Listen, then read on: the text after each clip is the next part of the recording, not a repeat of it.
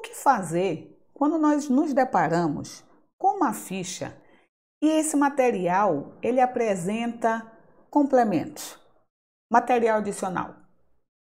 Não sabes? Então fica comigo que depois da vinheta eu te explico.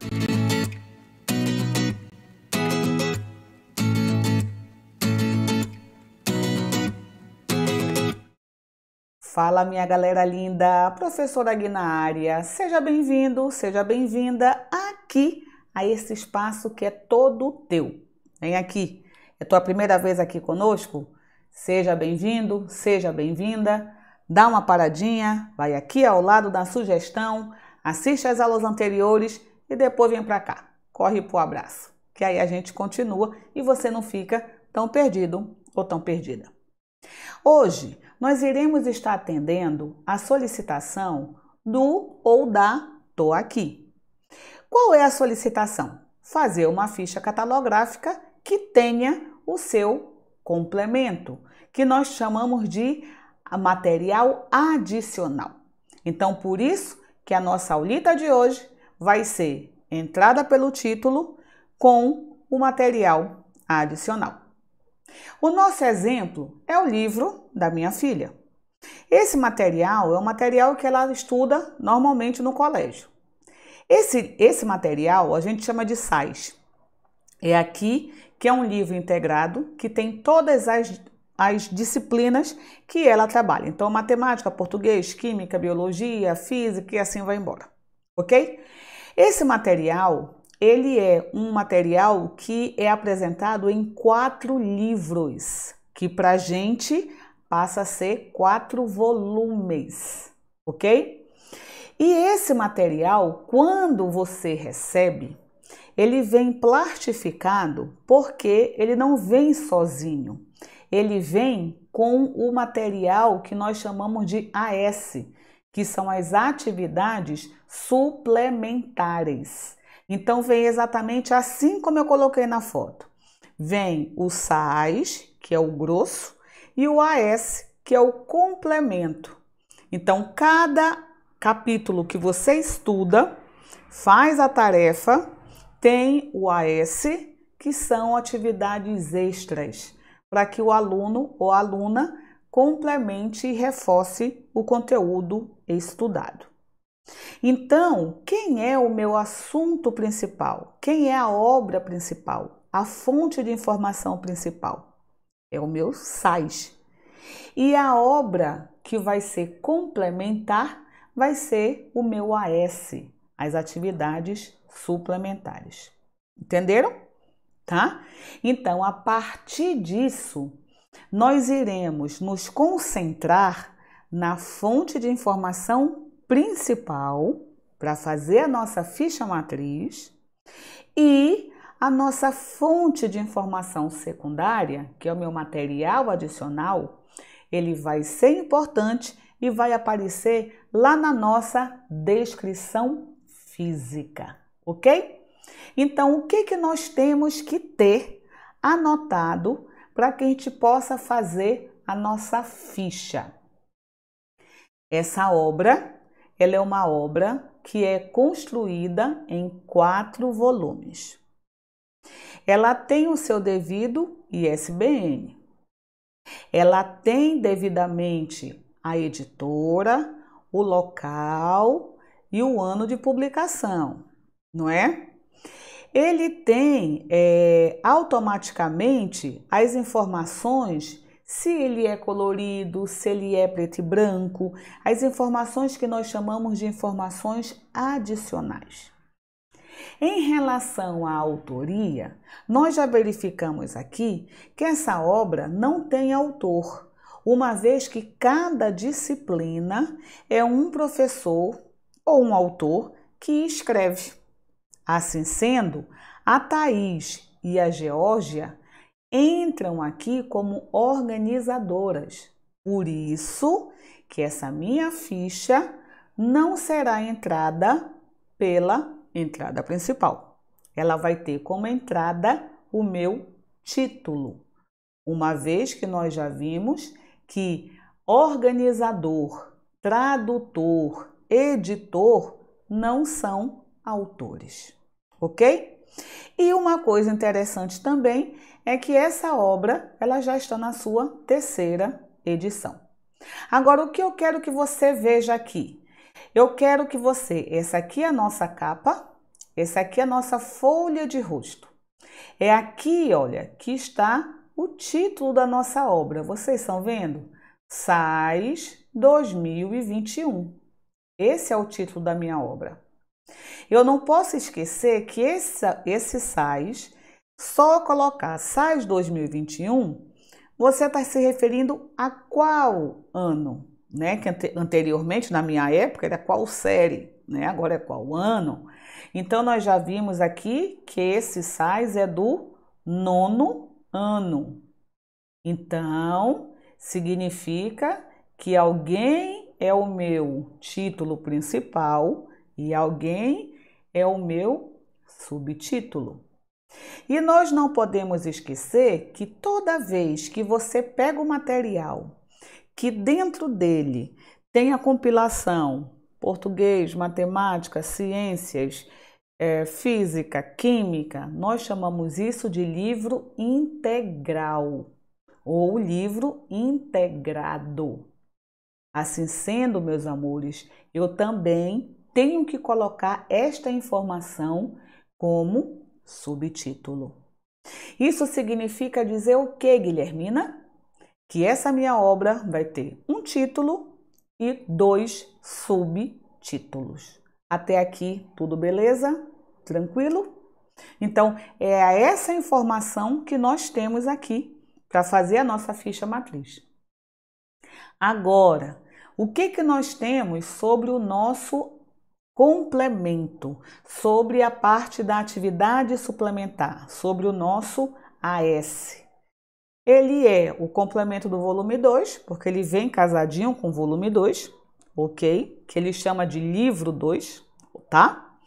O tamanho é exatamente o mesmo tamanho que o meu livro principal, 27,5 centímetros, que nós já aprendemos que toda vez que a obra tiver o tamanho quebrado, eu arredondo automaticamente para cima, independente de qual número que me apareça após a vírgula. Então, se eu tivesse 27,2, automaticamente 28. 27,1 automaticamente 28. 27,5 automaticamente 28 centímetros. Como esse material adicional ele é no formatinho de livro, então a gente vai verificar quantas páginas ele apresenta. Tá aqui, 164 páginas. Uma coisa que é interessante, Lá no nosso material principal, as ilustrações são todas coloridas. Aqui, as ilustrações são coloridas, mas sempre num tom azulado. Então, não é preto e branco, mas não. Hum, se tu quiseres, tu até coloca colorido na tonalidade azulada. Mas eu só vou colocar colorido, ok? Tá? E aí nós já temos todas as informações. Então, vamos nessa fazer nossa fichinha? Então, nós já vimos que essa obra ela tem organização. São duas organizadoras. Assim sendo, ela não pode iniciar pela entrada principal. Ela vai iniciar pelo título. E nós já vimos que o nosso título é justamente SAIS 2021. E eu já falei que eu tenho duas informações que se caracterizam como subtítulo. O ano que esse SAIS 2021 representa, uma vez que ele vai estar tá lá quinto ano, sexto ano, sétimo ano, oitavo ano, nono ano. Então, qual é o que eu estou me referindo? Por isso que eu não posso deixar somente SAIS 2021 e também o que ele é um material integrado ou integral. Isso também a gente pode colocar ou como subtítulo, que é o que eu, Guilhermina, faço, ou você também pode colocar isso lá em notas. Mas a série obrigatoriamente tem que ser como subtítulo. E o que separa mesmo o título do subtítulo? Dois pontos, não é isso? Então eu tenho dois pontos, nono ano. Como eu vou querer fazer o subtítulo do outro subtítulo, então eu continuo com dois pontos. E aí eu vou colocar o quê? Livro integral, ou só integral, ou só integrado. As três formas estão corretas. Então, de acordo com o que nós fizemos aqui, a minha área 1, eu já tenho o título e já tenho os subtítulos. Até aqui tranquilo? Continuando a nossa área 1, ela é constituída por duas coisas: título e responsabilidade. O que caracteriza a responsabilidade? É a nossa barra inclinada. Então, eu vou ter que colocar automaticamente espaço, barra inclinada, espaço e vou colocar a minha responsabilidade, que neste caso vai ser quem? As minhas duas organizadoras. Como elas não são autoras, nós temos que colocar a palavra organização, organizado por, organizadoras. Nós temos que indicar a categoria dessas duas pessoas que vão entrar no campo da responsabilidade. E se eu esquecer, Guilhermina, de colocar? Vai estar tá errado ou vai estar tá meio certo? Totalmente errado. Por quê? Porque se você não coloca a categoria, subentende-se que elas são autoras. Se são autoras, a minha ficha é obrigada a iniciar pela entrada principal e não pelo título. Haja vista que eu só tenho duas pessoas, ok? Então, por isso que nós temos que colocar a categoria para justificar o porquê eu iniciei pelo título e não pela entrada principal. Então, espaço, barra, espaço e coloco a minha organizadora. Eu coloquei organização dois pontos, mas você pode colocar organizado por Thaís Helena Miguel Pereira. Organizar é, é Thaís Helena e Geórgia, vírgula, organizadoras. Não tem problema como você vai estabelecer essa tua redação. Só não pode aí esquecer de citar a categoria da Thaís. Só que a Thaís não está só. Então, Thaís Helena Miguel Pereira e Georgia Fabiana Mendes Marinho.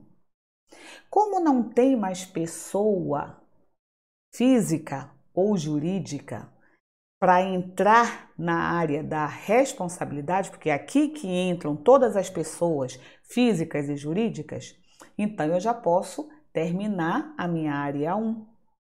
E o que que caracteriza o final de uma área? Quando você coloca ponto, espaço, travessão, espaço. Aí, quando a gente olha aqui, eu já tenho o ponto. Vocês estão vendo, meus amores? Só que o ponto tá bem rente a esse aqui, ó. Não tem como dar o espaço. Então significa que você vai colocar ponto, espaço,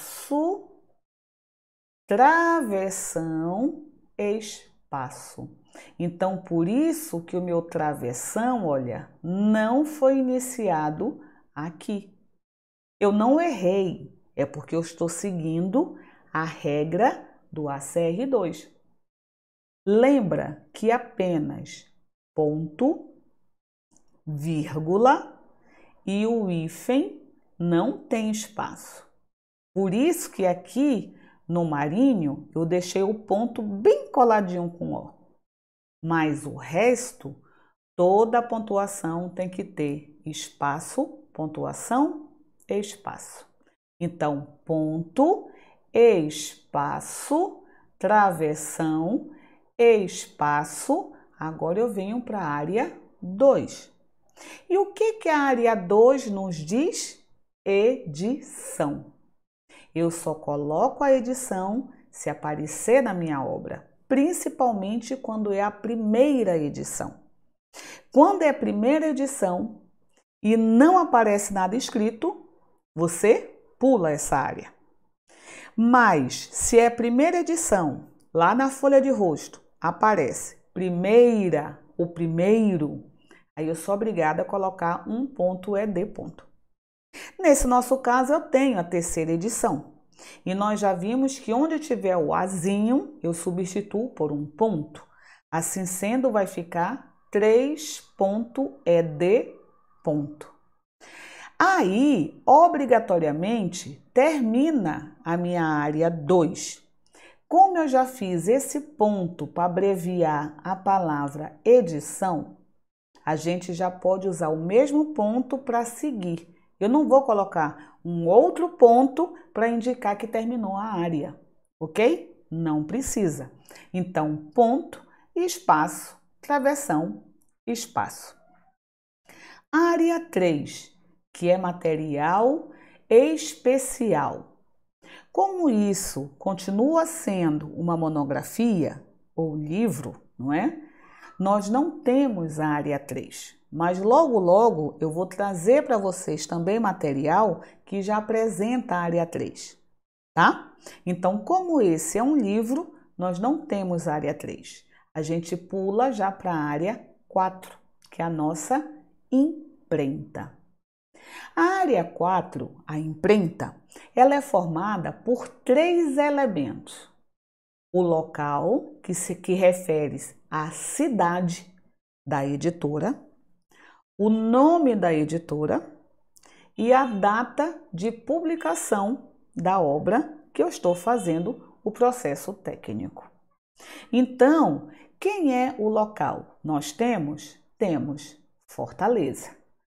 Vejam que eu não coloquei Ceará, eu coloquei Fortaleza, porque é a cidade e não o estado. O que separa a cidade da minha editora. Sempre são dois pontos. E o que separa a, o nome da editora para o ano de publicação ou data de publicação? Vírgula. Assim sendo, Fortaleza, espaço, dois pontos, espaço, a minha editora, do jeitinho que aparece lá. Então, Sistema Ari de Sá Ensino, vírgula, e o ano de publicação 2021. Ponto. Agora nós iremos para nossa descrição física. A descrição física sempre é iniciada pelo total de folha ou total de página, desde que a minha obra não tenha volumes. No caso, a minha obra tem volume, tem quatro, porque são quatro livros que para mim eu chamo de quatro volumes. Então, quando a obra tem volume, eu não posso sair somando o total de página ou de folha de cada volume. Nós temos que indicar que eu tenho volumes. E como a regra manda eu fazer? Ela manda você continua o meu espaço, sempre início de parágrafo. Eu não faço aqueles dois dedinhos, dou o pinguinho e escrevo, como a gente aprendeu na língua portuguesa. Na minha ficha é a mesma coisa. Cada início de parágrafo é abaixo do terceiro espaço. Então eu tenho aqui um, dois, 3. Então, abaixo do nosso S. Só que eu não vou colocar quatro volumes. Eu sou obrigada a deixar o espaço e coloco o Vzinho ponto. E obrigatoriamente vai ficar isso aqui mesmo, tá, gente? Você tem que deixar esse espaço aqui, tá? Então, eu tenho os meus volumes, aí sim, informação adicional. É ilustrado, é preto e branco, é colorido, é num formato retangular, é todo em plástico, é todo em pano, é todo em material reciclável. Você vai colocando as informações que são relevantes. No meu caso, o material tem ilustração e essa ilustração é colorida. Então, eu coloco IL, ponto, que é ilustração. Percebam que a vírgula é colada, colorido, abreviado, com um pontinho. O que separa a informação adicional do tamanho da minha obra? Sempre ponto e vírgula. Como essa minha obra corresponde a uma monografia, o meu tamanho é só mesmo a altura desse material. 27,5 centímetros, automaticamente eu arredondo para 28 centímetros. Agora sim, eu faço a pergunta: eu tenho material adicional? Tenho. Eu não tenho o AS, que a gente chama de atividades suplementares? Então eu vou colocar o sinal de mais, que é o indicativo de material adicional, e vou dizer o tipo e a quantidade desse material. Eu tenho um suplemento, então mais um suplemento. Esse suplemento não é no formato de um livro? Sim. E como é a descrição física do livro? Total de página ou de folha, se é ilustrado, colorido, preto e branco e o seu tamanho, não é isso? Então, meu suplemento tem que ter exatamente a mesma coisa. Então, você vai abrir um parênteses e você vai colocar total de página, 164 páginas. Eu tenho ilustração? Lembra que a ilustração é toda no tom azulado e eu só vou colocar que é ilustrado. Então, dois pontos e L. Ponto.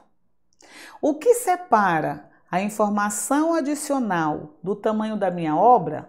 Ponto e vírgula. Então, ponto e vírgula, 27,5, 28 centímetros. Agora, galerinha, eu tô aqui no 28, ele está exatamente aqui, não tem como eu colocar meu centímetro. Quando eu retorno, eu retorno para o terceiro espaço? Não. Por quê? Porque a partir da descrição física, a nossa ficha fica exatamente igual. Quando não dá na tua linha, ao regressar, você vai para baixo do teu primeiro espaço. Então significa que o meu centímetro tem que vir para cá, ó. Por isso que eu coloquei aqui, ó, 28 centímetros, que ele tem que ficar abaixo do meu primeira letrinha, que ela vai segurar numa boa, ok? Descrição física acabou. Por quê? Porque eu não tenho aqui série. Se eu tivesse série, automaticamente ponto, espaço, travessão, abre parênteses, nome da série, espaço, ponto e vírgula, espaço, número da série, fecha parênteses, ponto final. Como eu não tenho, então descrição física acabou. Minhas notas.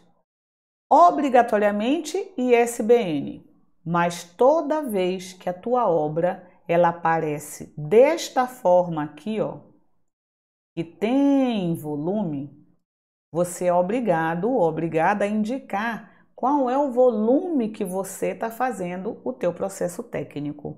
Por isso que eu coloquei volume dois pontos 2 para indicar que esse, esse material é o meu livro 2 ou volume 2.